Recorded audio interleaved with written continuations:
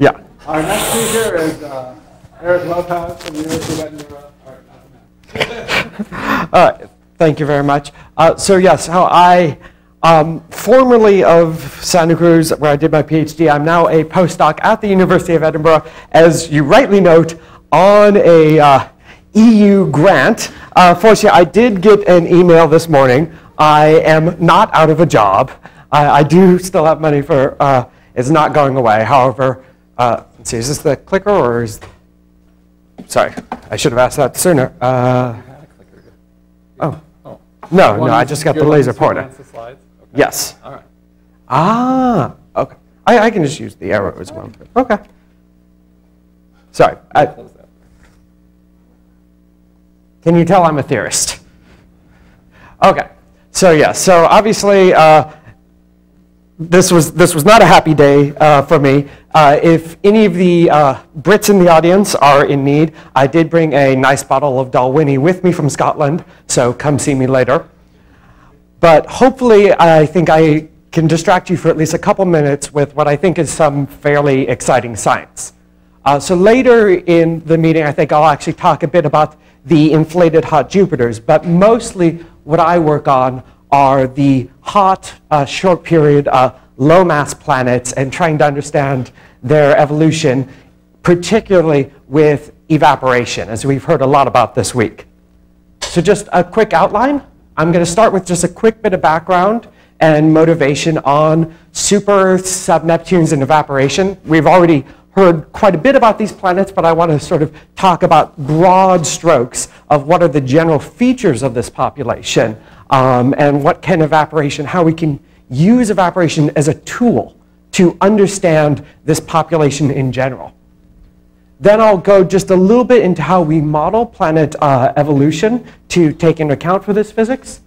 And then I'm going to focus in particular on a, what I think is a very interesting and useful population of planets, the ultra short period planets. These are the newly discovered planets that have orbital periods of less than a day or so. And I think these planets are incredibly useful. And then finally, I'll talk, I'll describe quickly some results from, from some evaporation models I've run um, that I'm hopefully about to uh, submit, and then discuss the implications for planet formation.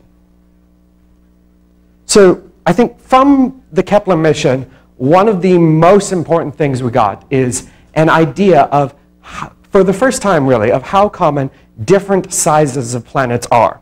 So this is the uh, corrected occurrence rate, corrected for selection effects, for planets within about 85 days. So for non-astronomers, this is about the orbit of Mercury. And this is planet radius compared to the Earth. So for comparison, Earth is down here. Uh, Neptune is about fourth radii up here.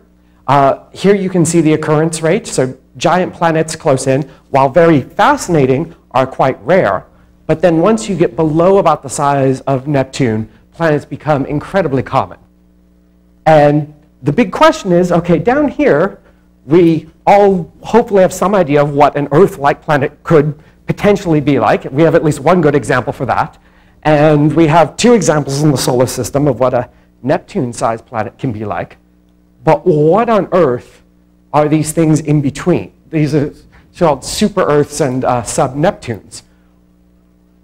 We know from follow-up work that somewhere at around one and a half Earth radii, you find a transition between bare rocky planets and non-rocky planets. As James was uh, saying earlier, planets that just from their densities alone have to have a massive, massive gaseous envelope. And just to be clear, I'm not talking about an atmosphere. I'm talking about things that make up a significant component of the bulk density of the planet. So I think the, one of the key questions is going to be asking, what on earth can that bulk component be? I, Jonathan showed uh, this figure on Monday. Uh, so don't worry too much about the actual uh, data at the moment. That's what all of these points. I've sized them inversely to their precision. So these are sort of, as of right now, this is our, is our population of low mass planets that we have good masses for.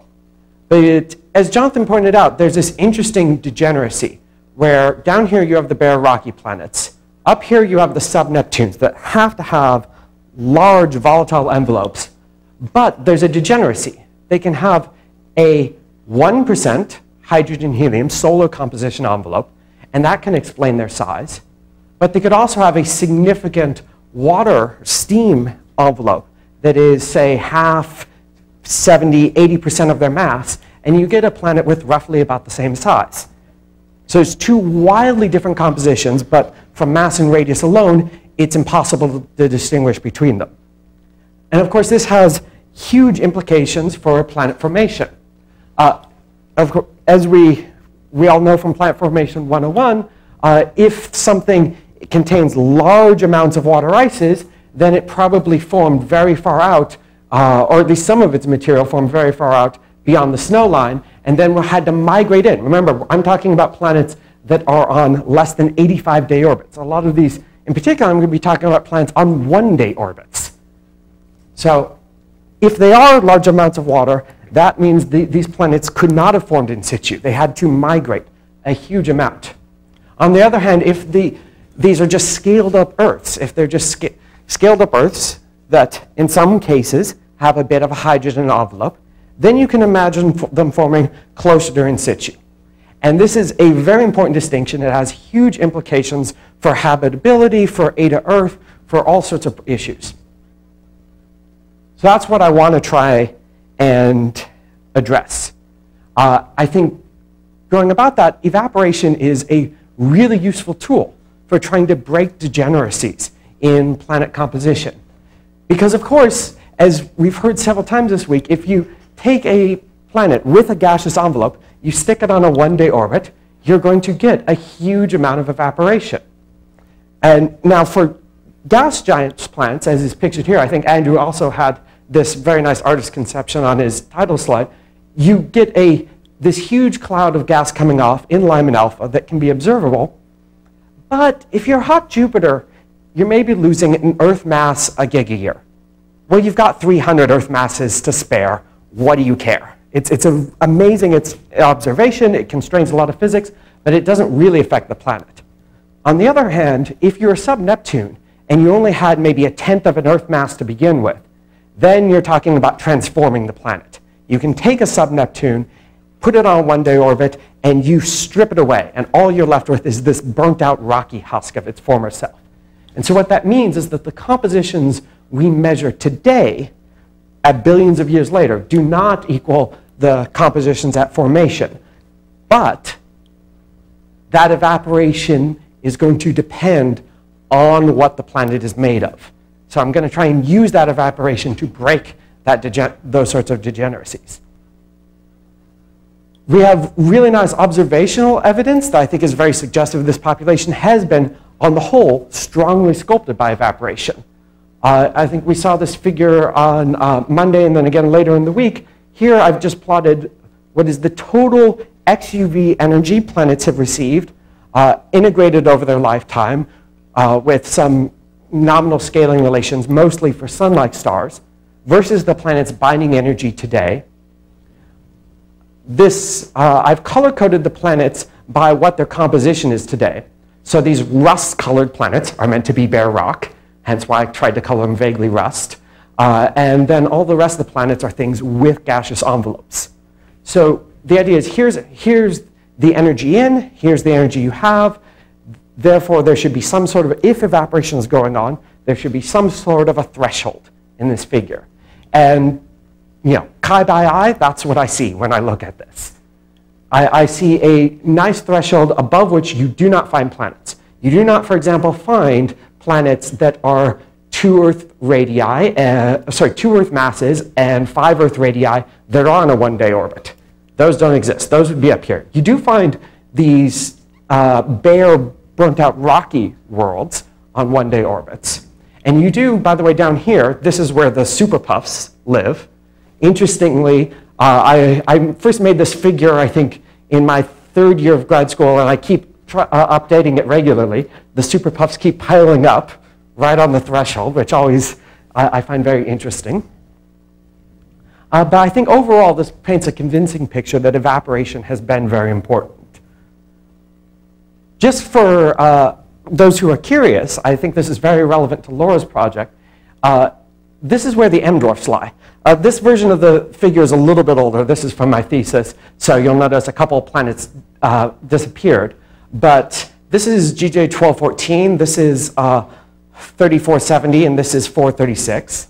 Uh, for reference, more recently, this is where GJ 1132 uh, would lie, and if you assume they're rocky, TRAPPIST uh, 1b and c would also lie about there.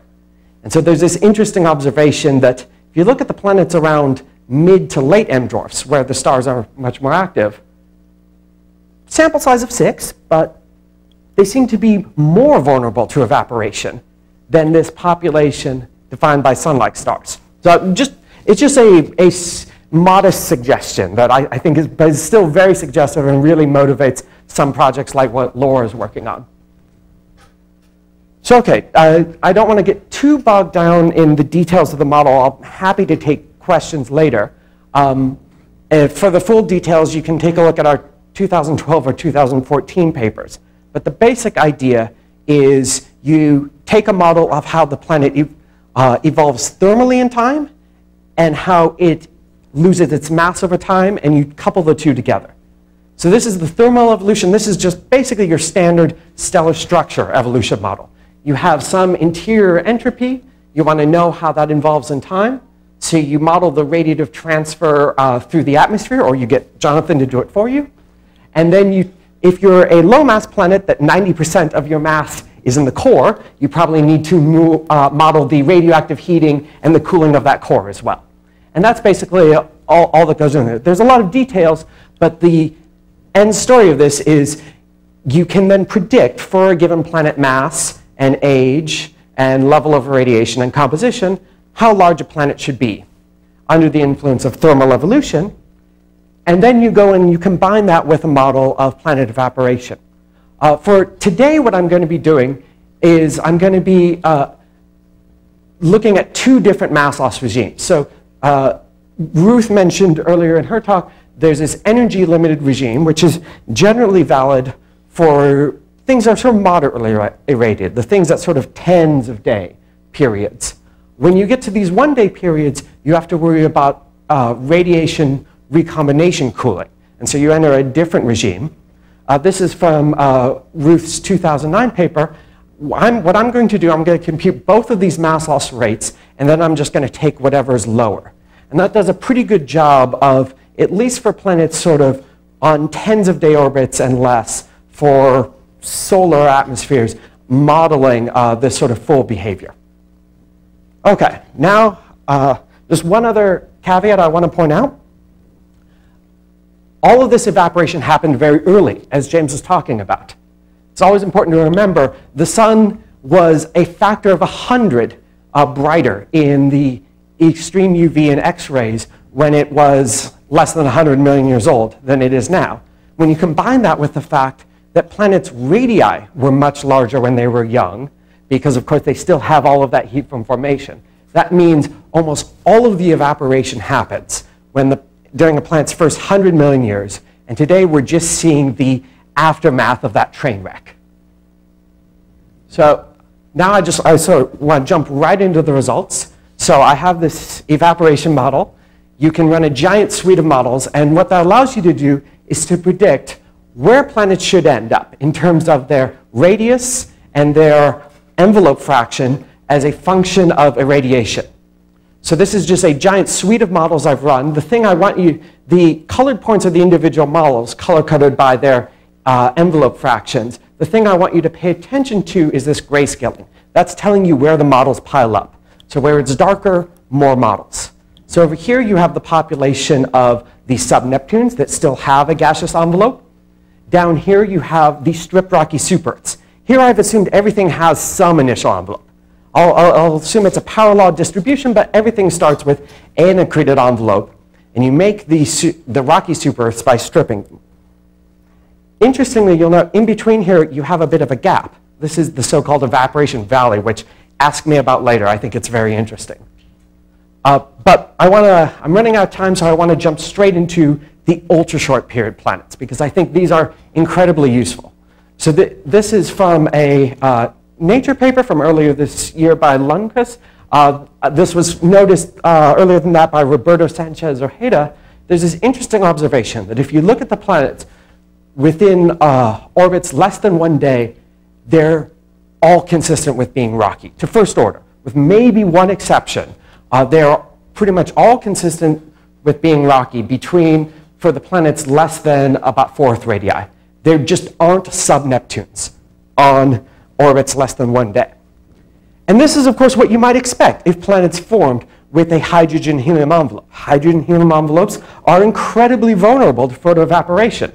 So you stick them on a one-day orbit, they're just going to get ripped apart. If you try and make them so massive they can resist that, they'll tidally uh, fall onto the star.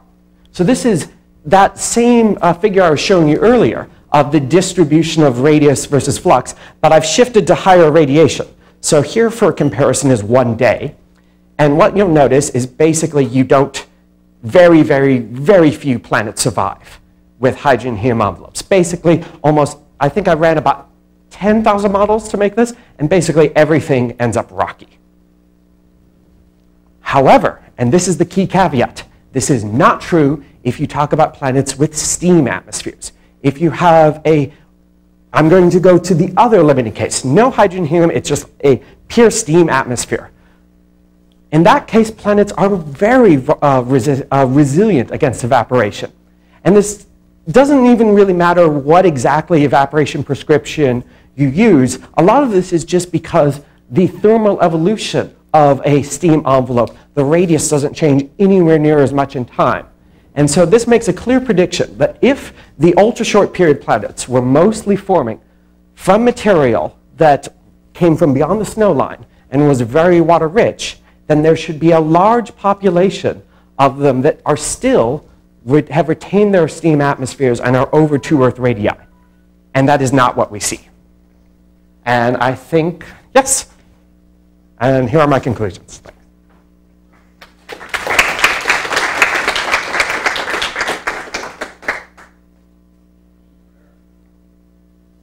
I, I, Tad, I, okay. Sorry, Tad? Yes, sorry. So that is, that is at five gigayears. It doesn't, once, once you're beyond a couple hundred million years, it doesn't really matter. Uh, but yeah, that was at nominal age of the solar system. It, they reach a steady state envelope fraction. The radius continues to contract a little bit, but that's just from the thermal evolution.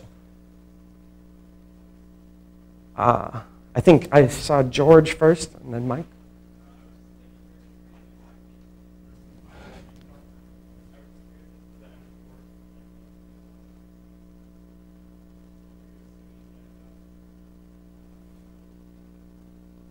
Yeah, so one key here is uh, in this figure, I'm only including the steady state uh, XUV heating. This is really what, there have been a big uh, effort with HST STIS and with things like Chandra and XMM to constrain the high energy heating for sun-like stars and to some extent down to about M2 or so. But we get, STIS observations are of course expensive, so they don't want you to stare at a single star for a year to see how it's varying. So usually we just get a quick snapshot and we get some idea of what the steady state uh, um, emission is. And it roughly seems to follow a similar power law from early, uh, from, uh, early M to late F or so. Um, this does not account for flares. And I think that could be what's going on here. Because once you get around mid-M dwarfs, that's going to be very important. Uh, I think Mike first.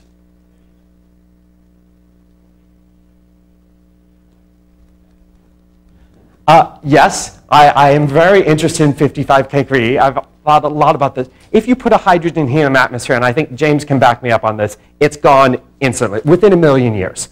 It cannot retain to a hydrogen helium atmosphere. It's really weird. It's, I, I don't understand how it can be a bare rocky planet. It should be a water envelope, I think, but then how do you explain what's going on with the variability and the day nights, if, if, if I am to trust observers. Yeah, it's, I, I, am curious to talk about, we can talk about this more later. I don't know what to make of it. Uh, but no, it cannot, 55 Cancri cannot hold on to a hydrogen helium atmosphere. Uh, I think Daniel and then James. Oh, yeah, it will. Be, um, before, before the evaporation happens, it, which I think the evaporative wind Ruth showed is generally launched at around a uh, nanobar, down at about the microbar level or so, you've already uh, further dissociated the water. But the, the dissociative heating isn't anywhere near as intense as the ionizing heating. So that, that it's the ionizing heating that really does the work to remove material. Thank, yeah, James?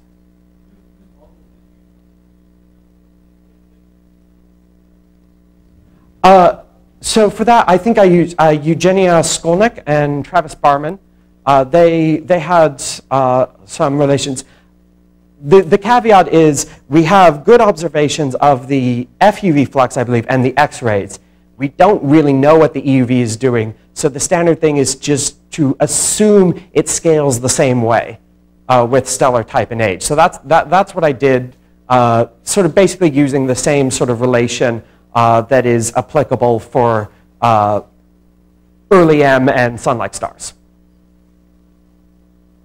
Uh, you do get a little bit of enhancement because what's actually constant is the bol XUV to bolometric ratio. And you get a lot of evolution in the bolometric luminosity because the pre-main sequence lifetime is so much longer. So that, that, that does give you an enhancement. I include that. I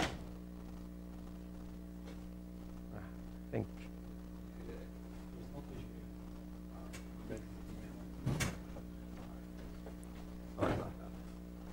But thank Eric again. Right.